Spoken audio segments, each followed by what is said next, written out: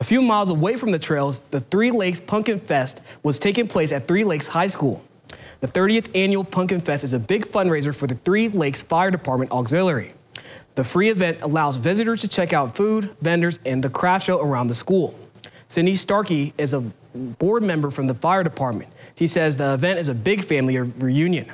I've been here almost since the very beginning. I think I missed the first year, and it's very rewarding to see what's going on. And I love my crafters. I take care of the crafters, and we just feel like family. We hug each other when we see each other, and it's just it's really a magnificent time. The annual event has raised over $100,000 since it started 30 years ago. It doesn't only help the fire department, local organizations benefited from it too. Well, most of the money goes to fire department, but we do uh, provide uh, funds also for some of the community, other things in the community, um, you know, for the town and for different organizations, the kids with their, we have a drama club that helped us volunteer last night and today, so we'll give them some money for their drama club. Around 5,000 people visited the school and organizers were happy with today's turnout.